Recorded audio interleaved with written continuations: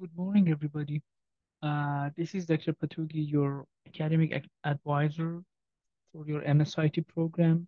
Today, I'm going to talk about one important thing in your uh, program uh, degree, and that is a form that you need to fill ahead of time when you start your uh, MSIT program here at North Carolina A&T State University. And that form is called Plan of Study or POS uh, you need to fill this form out by the end of your first semester. And that's basically, and this form is basically your plan of uh, or map of your study. And it it tells the graduate college and the department that which courses you want to uh, take along your uh, program in your future semester up until your graduation. So how you how do you find this form? If you go on uh, uh, Google and search for North Carolina A&T State uh, university and POS, you'll easily find it. So I say in Google, I say NCAT POS. And if I search for that, you'll find it in Aggie Hub.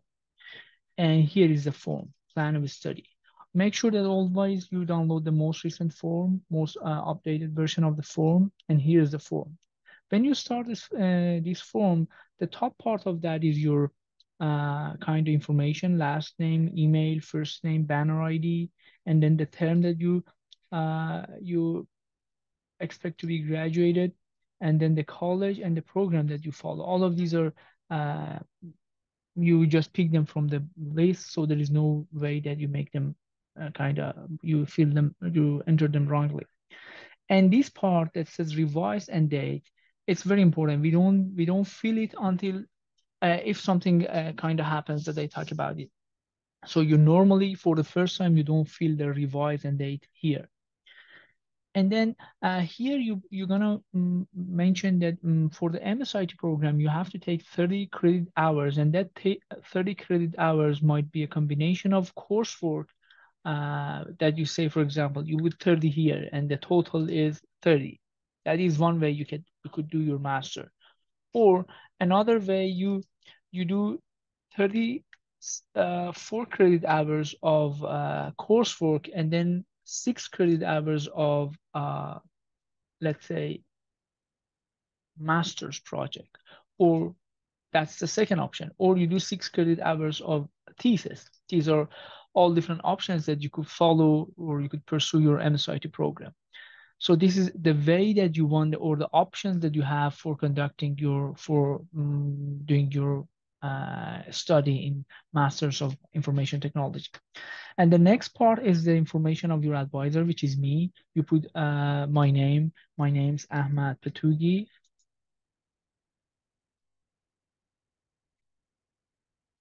And then department's computer systems technology. Please don't put abbreviation. Computer systems technology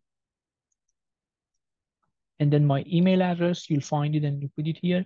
Here are the courses. This table is uh, kind of list the courses that you want to transfer. If you don't have any course that you want to transfer, you just leave it blank and then you go to the next page. In the next page, we have two tables. In the first table, you list the courses that you want to take and then you put if there is any prerequisite for them. For the master courses, we don't have any prerequisite and then the number of credit hours, and then the term that you want to take them.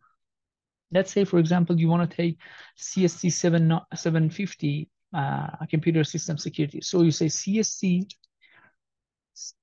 CST 750 computer system security. This is this should be spelled exactly like this. Anything other than this, the administrating uh, person they may reject it and uh, they Mm, which may delay your uh, your kind of process and of getting the pin or even delaying your graduation.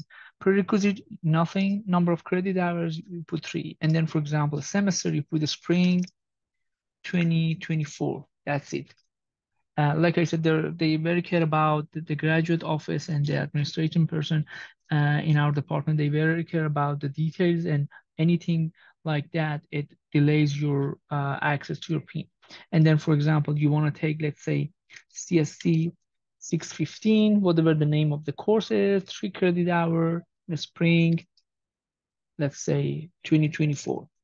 And then you go to the next semester. You say, for example, some um, another course the name of the course should be the name of the course comes here exactly as, as it is on the uh, as it is exactly on the kind of um, on your um, Aggie access or as it's on the um, graduate handbook.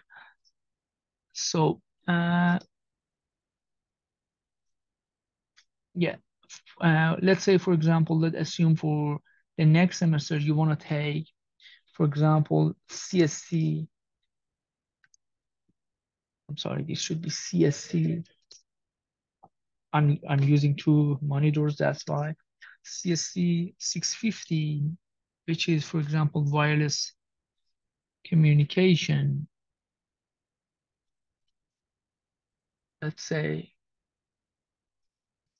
I put the name here and I'm gonna take this in summer one.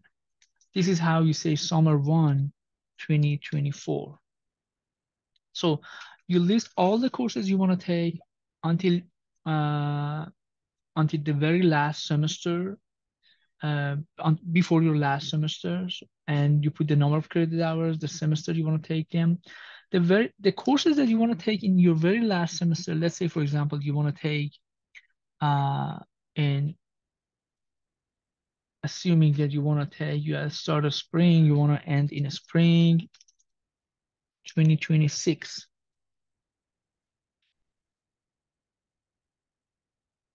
Or spring 2025, for example, you want to take what course? Let's assume that you want to take CSC 702. CSC 702, which is statistical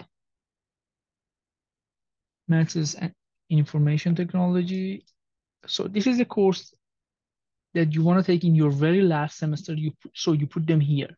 The courses in very last semester, in the semester that you are gonna graduate, you put you list them in this uh, bottom part of this table. And then the total should be 30 credit hours transfer. If you have anything, you put it here. And then grand total is 30. Of course, if you have credit, if you have, if you're transferring anything, your total here is the, for example, 27 and 3 here. And then you you you sign here. There is nowhere that you put your name when you want to sign. You just sign this portion, and then you put the date, and then pass it uh, after you sign it and date it, save it, and pass it to me. I review the form, sign this, uh, put my name here, sign here and date here, and send it uh, for the department chair for final approval. And then after him or her, it's gonna go toward the graduate college. So uh, here, uh, lastly, I'm gonna share my screen, share a different window with you so that you know what are the major things to consider. So these are the major items to consider when you're filling your uh, plan of study. First, you gotta show us that you're fulfilling 30 credit hours you complete, uh, you put the complete code and name of each course. For example, CSC 750 computer system security. Don't uh, change anything.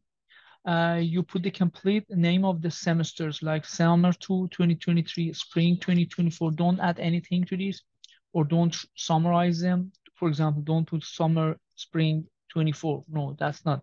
They want to see spring 2024 and then uh, you got to order the semesters based on the um, time that you take them and then the courses of the last semesters are going to be on the second portion of that table and then eventually i'm going to talk about uh, i'm going to get, back to the form again and talk about the situation that you may uh, need to make any changes. So let's let's assume that you have a filled your form and you have uh, signed it, your advisor approved it, and the department has, has approved it.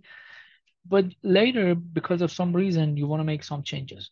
That is the time that you come and prepare a new version, a new POS, and you reflect the changes in that new POS. And here you say that, yes, this is revised. You put an X here and you put the date, which means that this is your second POS. Uh, you have you have had a different one which previously was approved, and now you want to make some changes to them. So that's it.